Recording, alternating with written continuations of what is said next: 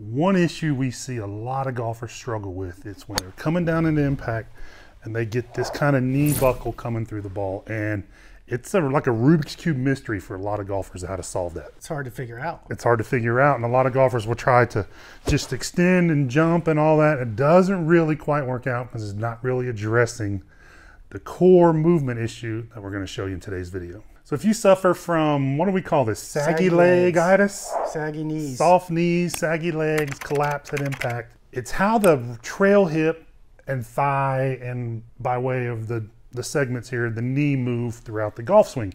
Now, to show you what it should do, and chances are you're already doing it correctly, you're just doing it to the other side of the body. So let's look at the backswing 1st mm-hmm. So, start to address here, a little bit of knee bend. Yep. Starting to make a turn here, and as I do that, I'm internally rotating into my trail hip, Yep. right? And I'm externally rotating in my, my lead hip. That's the key, right? So in a normal backswing, you're going to, you know, we always do where if you just kind of squeeze your hand, you're you're turning into this Right. trail leg. leg. And at the same time, your hip is pulling away from your lead leg. Now, from a face on camera angle, it just looks like the knee comes in some, right? The hip, everything looks normal about that. That's what's got to happen on the downswing with the opposite side. And that's where we see the issues come from. And, and real quick, what you did right there was so good because I think a lot of us are guilty, me included. I tend to spin the pelvis sometimes, and I don't get any internal into the trail and external on the lead. I just spin the hips around. I haven't done anything at the hips. Right. I'm just spinning around my ankles, and that's no good. think of it just we're going to go go off that baseline we're going to go off that same movement now we're going to flip it and now let's take a look at what should happen on the downswing compared to what we see happen Okay. just through recentering again this gets so misunderstood Yeah. recentering is just you moving back to the center Yeah, it's a backswing move. in the backswing yeah, so here I am away, yep right? And then as the club gets over as my that club starts pointing towards me you I just, follow it Just kind of fall right there back that's to the middle. that's recentered It's not any kind of real super exaggerated upper body move. I see a lot of guys doing it up here all of Right. a sudden. It's just this little lower body swivel back to the middle. okay So that's all right one. That's done. recentered good My pelvis is rotating as I start down, right? okay The- hopefully The, the trail knee is gaining in flex. The lead knee is losing flex. They kind of have this crossing point halfway down. okay I'm rotating my pelvis kind of into this leg again. okay so just the opposite of what you were doing in the backswing you're In- pulling away from it internal rotation into Okay. the lead leg. Um, and I can feel that here in my leg. It really stabilizes this leg. And then I'm pulling away from the trail leg, right? The Yep. pelvis is kind of pulling away. So I'm externally rotating with this leg. If I do that correctly, and, and Mike will show us in gears, you lose this hip angle right here right right? And that's really important. We it, it's one of those things that we take it look at all our high end swings in the database, and you figured this out that they all lose that angle right here. Yeah. right? It's a common denominator of great swings. So that hip angle, and I'll just show you the right side. So that hip angle is just the angle my leg is out of my hip joint. Okay, it's just the thigh coming out of my hip. That would be increasing the angle. That would be decreasing the angle, Right. which is I can feel that stretch, right? Right. This is most golfers sit in a desk all day. That's easy. That's the problem. Most of us have a harder time moving it back this way, but that's what you see the best players in the world do, and that's what you do in the backswing. So we're going to add some of that to the downswing. Real quick, and we'll get you right back to the video, I promise. If you're looking for instant distance, and who isn't, click on the first link in the description or pinned comment below. We're gonna give you one of our best distance drills that's gonna have you hitting it longer by tonight. Just click the link below and tell us where to send it. Now let's get back to the video. You know, by now, we think it's important to show the receipts when we're talking about things in the swing that may go against current trends or just plain difficult to see.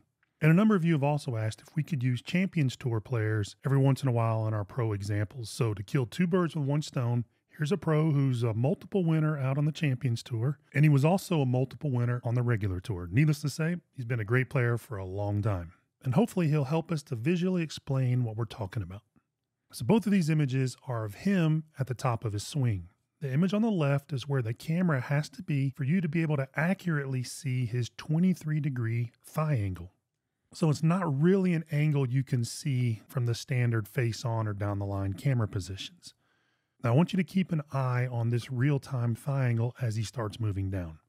Notice how that angle continues to decrease as he continues in his downswing. And then right here, when he's nearly finished with his follow through, it hits triple zeros, meaning he has zero thigh angle coming out of his pelvis. He also did us a favor by doing this when his pelvis is perpendicular to this face on camera. So now hopefully you can clearly see that loss in thigh angle that we've been talking about. Now, not every player is going to be zero here. Some will be in a negative number, meaning the thigh will actually be angled backwards. And some players like Rory will even be significantly into a negative angle. I think he's roughly negative 27 degrees, if I remember correctly. The point is, though, that you lose this angle coming down. So let's go back to the top after you've recentered. All right, so the first thing is the hips have got to start rotating, okay? Right. right. Now we see a lot of golfers where it breaks down right here because they will, in an effort to not early extend, they will try to push this lead hip back. Yeah. Never seen a good player do that. Right. And, and we, we go through this gears database. We have so many, we have like a billion dollars in earnings. We try to like look at the things they all do and the things that none of them do. Right. Right. And then we have this kind of two buckets. Right. And we don't see anybody, what Mike was saying right there, increasing that as you start down. Right. Well, again, let's let's be clear. It's just pushing the hip, right? With gear sensors right here on the side. Yeah. It's pushing that deeper to start the downswing. Yeah, so let me say that one more time. Up here, as they start down, what you're saying is nobody goes like that. Nobody goes like Shoves that. back. Here we got our pro again at the top of his swing. So all this gears data that we show is collected by placing at least 34 markers at designated points on the player's body and club. We then use 10 high-speed cameras to track the markers, which provides all the data. The two dots on your screen are the actual markers that went on both sides of this player's pelvis. The green marker on his right side, purple marker his left side. Now this top-down view is the best view to see how the pelvis works in the downswing. As he starts down, you'll notice that the right side of his pelvis or right side of his hip, whichever you prefer, starts working immediately out diagonally towards the target line. Now, his right side will work back and away from the target line in the backswing, but not for one frame does it work back and away from the target line in the downswing, which for us is marked when the club changes directions. And of course, while that's happening, the left side is doing the opposite. It's moving diagonally away from the target line. Now, all this is done without early extension or humping. This is the pro movement that we see from every age player from every tour. Each side of the pelvis moving in opposite directions is what rotating around the center of the pelvis produces. Remember the old video game, the driving the tanks? Yeah. It's very similar to that. It- The movement is pretty mirrored between the left and the right. Now, what we see golfers will do is they'll throw this right one, try to deeper, not to early extend, so they get stuck now, everything moving to their heels, the club's still coming down. Now they're going to throw them forward, and that's where you get a lot of poor rotation and saggy knees. I was guilty with that. Years ago, I practiced starting down by going back that way. And I started getting this look at impact when my toes were off the ground. Yeah. And it's all club face. Not a great way to rotate. point. No, no. And so I got rid of that. All right, that's what not to do. Right. Now, we know this hip's going to move forward, the left hip's moving back. The one thing from here that golfers will do to disrupt the correct movement, you're, you're getting really close to doing it correctly now, is to hike this knee up. Okay, so we know knee bend happens in the downswing. It happens Right. for every good player. If I come down and I lift this knee, now I've increased that angle, got my right knee higher or keeping it the same height as my left knee. Now I'm in trouble and I'm getting this saggy knee look. So instead, we've got to lose that angle. So we got to get the right knee lower. How do you get the right knee lower in the downswing? So if I'm at the top here, uh, let's say my left knee's doubled in flex, basically. Okay. I've lost maybe a degree or so here. Pretty stable. Uh, I'm just going to feel like that I, I sink a little bit as the left knee straightens. Okay. And that keeps me from hiking that. I'm going to kind of feel like I get heavy in the ground a little bit. That's what I have to feel. Yeah, you're going to let this, now as this hip goes forward, this hip is always going down. That's right. Right? We see a lot of golfers trying to keep this hip high starting the downswing. Again, not something we see good players do. It's a death move. And with his body lines turned on, you can see how our pro has turned to the top with the lead side of his pelvis and his lead knee lower than his trail sides. As he starts down, all that is going to get reversed because his trail knee is going to gain bend as his lead knee loses it. We find that the overwhelming majority of pros will typically level out their hips and knees when their hands are right here around waist high. Also, notice how the shoulders are still tilting downwards when his lower body is level. A good indicator that none of this was done from being in trail side bend. So this hip's going to go forward and down. That now starts to bend my knee, but I'm losing this thigh angle. If you can see from this side on camera, do it here, I'm losing this thigh angle, which is exactly what the best players in the world do. So they're bending the knee and losing the angle. That's the combination. I mean, th- this is the kind of stuff that if I had it 20 years ago, I was like I would Saves have so saved myself so much frustration because what Mike is showing you right here that sometimes really gifted athletes and really good players they just picked up a club and did it. Well, I mean, like I said, most of us do it on the backswing perfectly, but we're so used to okay, the downswing is a different movement. It's not. It's the same movement, just reversed. So let's look at our pro again from the top. Now we have the center of his right hip joint in green and the center of his right knee in light green, and the same in purple for the left side. We'll also pop in this yellow arrow so you can see exactly where his pelvis is pointing here at the top of his swing.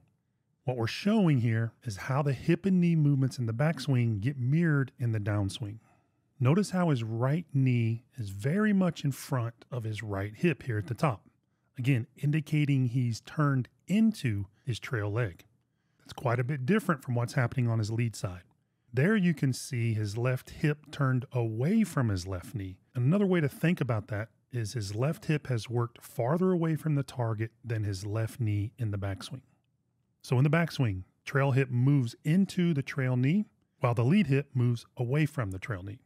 Now I got to stress this isn't because he's kept his lead knee still. The lead knee is still moved inward, just not as much as the lead hip. Now watch how quickly that flip flops in the downswing. He's very closely mirrored his backswing position by the time his pelvis has rotated square to his target line. His left hip is now turning into his left knee, while his right hip is turning away from his right knee. This is how you lose that thigh angle we saw earlier. Now, another point about this also worth noting is the space between his knees. At the top here, his knees are this far apart. And by the time he's back to square to his target line, you can see how his trail knee has moved closer to his lead knee. So none of this is happening because of any dual external knee spread type movement to start the downswing. It's happening because there are opposite movements from each side of the body, something that's seen throughout the golf swing. I've been struggling for a long time with kind of dragging this foot. I never quite understood why I was doing it. But once I figured out, I almost have to feel like my pelvis is pulling away from this side of my body through the hit. I look, I mean, it, my downswing or through the hit is 10 times better instantly. Yeah. And I get the ball flight I want without this overdraw. Yeah. So the perspective that we w- look at the swing through, right? With the stationary face on camera, we're not seeing how things move relative to the golfer. And that's the key. We want to show you as much of what can happen relative to what you're doing versus what it looks like from a face on camera. But some of you, it's all you're going to have is face on camera. So what you want to look for again is this hip's going to move forward, the lead hip's going to move back, and you're going to see the knee come in. But again, from Shaun's angle, he's staying 90 degrees to my mm-hmm. my hip line.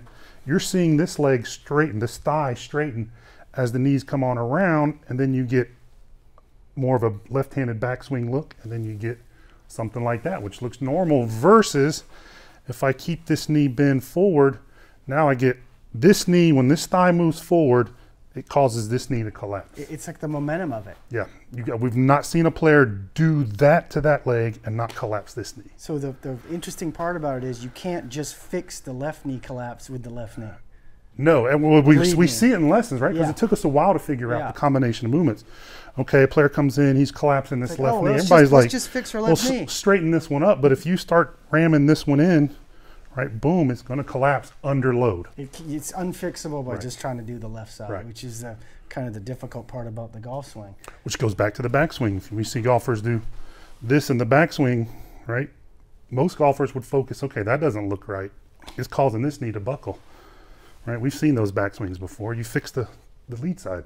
Yeah, absolutely, and that, the momentum of that opposite leg banging into the other one, kind of, there's no Yeah. stopping it. Exactly right. Especially at some kind of speed. So. And the downswing, you've got the burden now of way less time and way more speed. So it's got to be right. All right, so let's start the drills with some awareness. Yeah. Because a lot of you have probably never felt this internal external movement before, certainly maybe not in the correct sequence. So let's build some awareness with that first.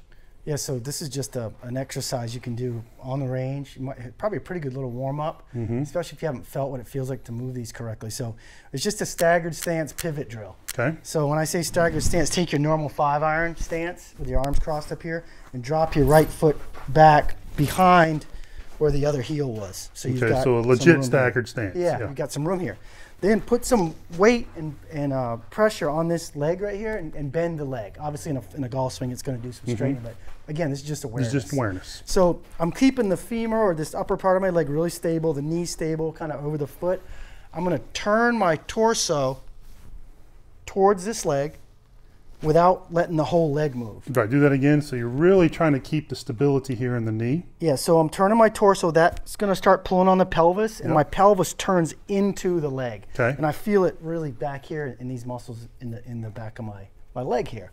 That's that would be internal into the lead leg, Okay. and that would be kind of a downswing motion. Okay. And then the other way, I'm turning. the knee. Yeah, he's going to hold it. I'm turning away from the leg. So you feel that joint opening now. hundred percent, and that's the backswing motion for a right-handed golfer with the lead leg. Okay. So that gives you both internal and external. And I need some help there. I'm tight because I sit, you know, I'm online Right. lessons and everything. I need to stretch some because I feel a restriction there. Well, most golfers are going to be tight on one side or the other from our experience, right? We don't see just gumbies on both sides. No. Because we all do things biased, right? We all we don't really go out and play golf left-handed to to balance out the movement. So don't be surprised if one's tighter than the other, but this is a good indication. Okay, that's where I need to spend a little more time, maybe stretching or working that joint Yep. more open. Same with the with the other leg. So I've got my trail leg here. I've got my staggered stance so I don't lose my balance. I put you know put some bend in the knee and put some weight on that leg to stabilize it. Then I'm going to turn my torso over the leg. So I have my kind of uh, club here so I can see where I'm pointed, and I turn the pelvis into the leg without spinning the whole. You can see if I spun everything, I didn't do anything here at this joint. There's no internal rotation. Now, do these in front of a mirror, or if you don't have a mirror that's available that's big enough, do it. Film yourself doing it because all of us, when we start, especially if it's tight, we'll focus on making the movement, and at the same time, you'll see the knee wobbling all over. So you really want to make sure that this leg is stable. And if you can only move what feels like a fraction, stick with it. You'll, Yeah. you'll develop the movement over time. Don't substitute the form or the quality of the movement for just making movement. And be careful. I mean, if you've got some known medical problems, Right. you know, don't overdo any of this Right. stuff. But just try to use it to get a sense for what's happening in in the body away from the golf club and the ball. Okay. So this was the backswing, Yep. right, for a righty. The downswing, I'm going to turn my torso and pelvis away from the leg, and I feel this stretch here. Now I'm externally rotating at, at this hip. Okay, and you're going to do both of those in the golf swing on both sides. Exactly. So that's your pelvis motion, backswing and downswing.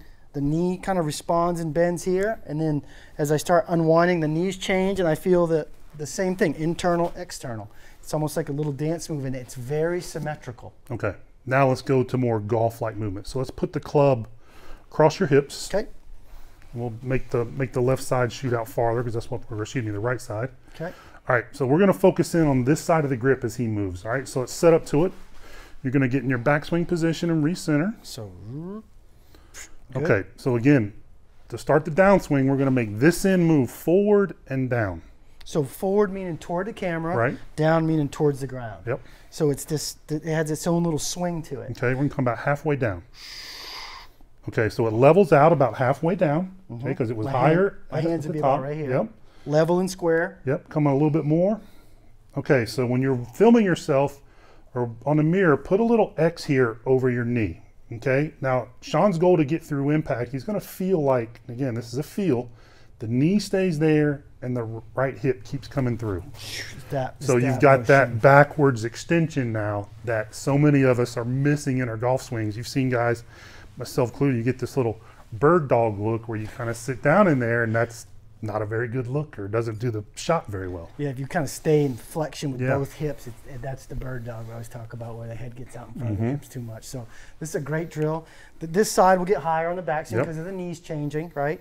Coming down, that's going to lower and come out towards the target line. And then, like Mike said, right, right in here, this knee kind of actually stabilizes and the pelvis Yep. turns away from that leg and gets that backward feeling motion with that leg, like you were I'm showing. glad you did that, not me. back, back kick. So do that slow. I mean, it can't emphasize enough. If you're feeling tension and tightness in the awareness drills, don't do that at full speed, what we just showed you. Do it slowly, build up to it. You'll really start to feel the stretch. This hip starts to leave the trail knee, and you'll get that look that you see every week on tour. Yeah, and you know, This is some detailed stuff, right? Don't overwhelm yourself. We're just trying to give you some feels that you can take when you make your swing because just to tell someone to turn back and turn through, that's not enough detail. So there's Right. got to be a point here where you really learn the, the movement patterns that you need and you can take those feels and apply them to your golf swing.